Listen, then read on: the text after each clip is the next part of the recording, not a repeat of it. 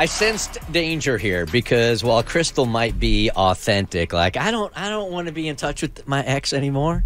Didn't work then. I'm the one that broke it off. I'm with my ex-husband. Don't care. Don't care. But he had a dog that I still think about and they didn't seem like they were a great match. So I would really like to know how the dog is doing. And the danger for me was not on Crystal's part, but that this dude is going to interpret her reaching out as him or as her wanting to reconnect in any way, shape, or form.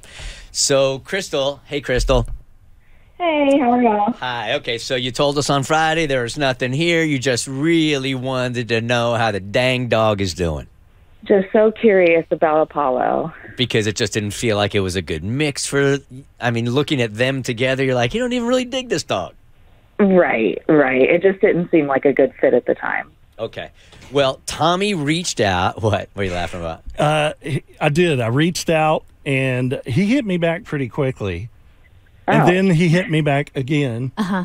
And then he hit me back for a third time. That's why I'm laughing because there's So- not one, there's not two, there's three responses. Really? he wanted to get his point across. Does that oh, good. does that sound like him?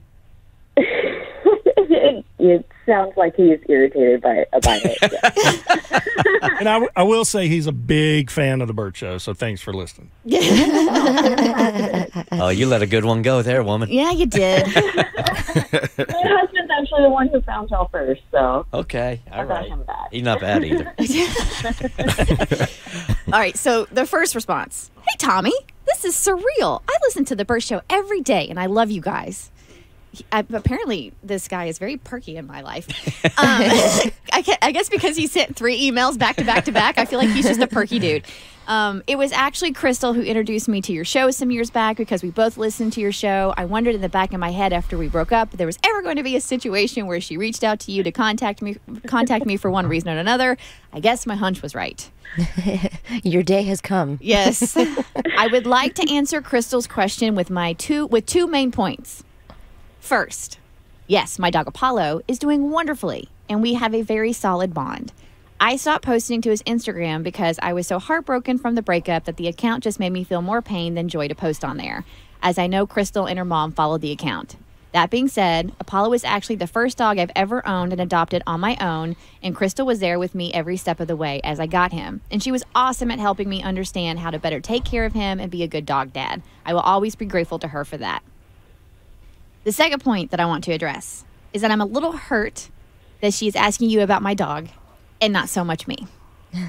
I don't know if that was deliberate, like maybe she's trying to imply that it's more important to get an update on my dog and only my dog, but I don't know. That doesn't seem like something she would do as far as throwing shade or being petty. That's actually not implied. That's exactly what's being said. That happened. Facts. There's no there's no mixed message there. she always had great character and was generally honest with people, but my gut is telling me that maybe she was too nervous to reach out to me directly and decided to go through the Bert show, and I understand. Sometimes people want a buffer, and there's nothing wrong with that. Around her birthday last year, which was about six months after she ended the relationship, I reached out to her via email to start a dialogue and maybe have a post relationship friendship because I really valued her as a person in my life. In our exchange, she made it clear that she no longer wanted to pursue a friendship with me. After trying to explain my feelings on things, I told her I understood and decided to give her the space she wanted. To this day, I still regret that we are not friends or are somehow in each other's lives, even platonically. She, she is such a great person, and it can be rare to find genuinely good people. This is still the first response, right? Correct. And we haven't gotten to the dog yet. Nope. Yeah, no, he did. He said he, he he did, he addressed the dog first. That's it. I mean, Apollo's Yeah, doing wonderfully, and we have a very solid bond. okay. Um, so that's why this whole situation is throwing me for a mental loop. She has my email, she has my number, she can contact me anytime. I have not burned any bridges with her or blocked her. I'm still open to having a friendship. However, if she truly is just checking on the dog without any care about me, then this situation just reignites the enormous pain and anger that I lived through all those months ago when she ended the relationship. So I'm having my fingers crossed that there's more to this message. Take care, John. That was the first. message. Okay, so he's going to let that one go. Then he started stewing on a little bit. He's like, oh, I got more to say. All right. Well, Crystal, anything to say with the first uh, response? Um, he he said very nice things about me. That was very sweet. Um, I'm um, I'm surprised to hear that he still has Apollo, but if they have a great bond together, then that's fantastic. How about the other stuff he was saying? Um, um, can we just see what his other responses are? No, I will not go on until you tell us what you think. Oh, Kristin's playing hardball this morning. Um, I definitely don't want to hurt his feelings by reaching out. Um, it is only about the dog. Um, a lot of the lack of contact is the way that he approached me via email on my birthday, six months after I broke up with him. It was very hostile. Okay. Um, when I asked him if he wanted to discuss the issues in the relationship, he got very upset and shut it down. So um, that's been the reason for, for no contact, Got it. honestly. Okay. All right, here's response number two. Just a quick follow up. I heard the setup in quotation segment with Crystal this morning. I just want to be very clear that when I said starting a dialogue and possible friendship, I really meant just that. I am also in a new relationship myself, have totally moved on, and am very happy. And yes, Apollo is in great care with me, and we have never been happier together. She can rest assured that Apollo is deeply loved. He gets his shots every year, plenty of exercise, and he is thriving. I would never want to rehome him, and there is no need to. Any frustration she saw from me when I first got him is because I was still learning how to handle pet ownership from an emotional perspective, and it took me a while to adjust. We have definitely hit our groove since then, and all is well. Okay. Thanks, John. Perfect. All right. Would you are you ready for response three? Uh, sure. this is the third email now. Do we have a time? Hey, Tommy, what was the time in between response one, two, and three? Just curious. Hang, hang on. I'll, I'll get back to you on that in just a second. Okay. Keep going. All right, so response three. I just have one more thing to add here that I think is really important.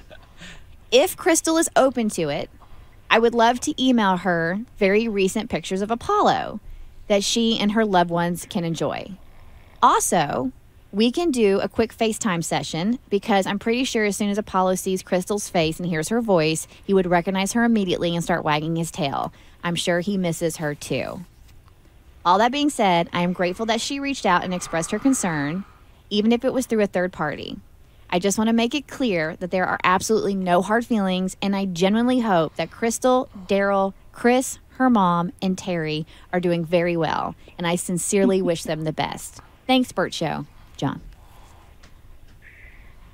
Your turn, That's Crystal. really- that's so sweet. Honestly, that's so sweet, and it actually makes me feel a lot better. I was kind of concerned after the first email that I really hurt his feelings.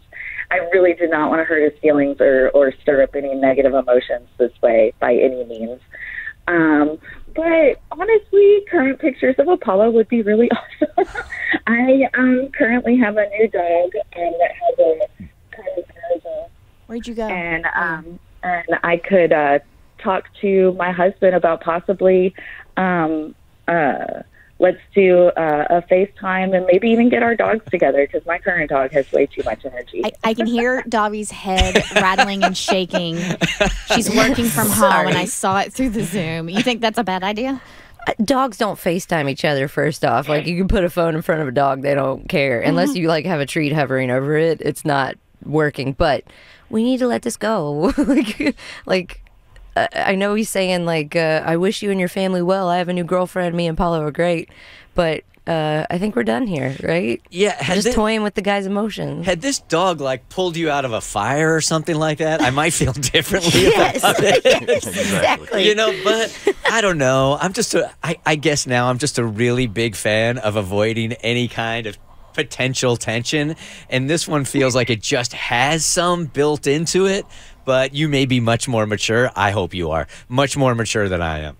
I want you to play out in your head how that conversation is going to go with your husband. well, he literally just left. Forever. No, he just walked out the door for, for work. So it would something it would be something I need to talk to him about tonight. Um, we're pretty secure in our relationship. He'd probably think it's a little weird too, though. Yeah, I'm, I'm sure. trying to think. Yeah, you guys, with your significant others, if they came to you and said, Look, I'm not into this person anymore at all. Yeah, we dated for like six months or whatever, but I really got attached to the dog. Can we all meet up? I, No. I, would be like, No. Yeah. No, no, no. Let's not do this. I mean, she's the one who took it to a doggy play date. He was just saying, "Hey, you want to FaceTime the dog?" And I'll send you some pictures via email. Ah, you're right. You're right. I took it further. I don't know. I'm going to have to think about it. I'm. I was not expecting three responses today. I do have your answer on the in between times between those three responses. Okay. Took about 20 hours between uh, one and two, and about 35 hours between two and three. Man, so for two days he was thinking about this. Yeah, he gave it some thought. Yeah, he did. All right, Crystal, you got the info now. Thanks, guys. I really appreciate it. I'm glad Apollo's doing well, and so is John. All right, take care. Thanks. Bye. All right, Mo, you're the one with a sensitive mic today. I can hear everything going on in your body. I was texting him, telling him to back off. and it- It's picking up everything. We can hear. I hear. backed all the way off, and it still caught my stomach from 20 feet away. It did. we heard your breakfast digest, dude. Uh, Mo, you may need some nasal spray. And we even heard this sigh. You were like in the middle of her talking. You were like, I'm sorry, man. it's the mile high air. The Bert Show.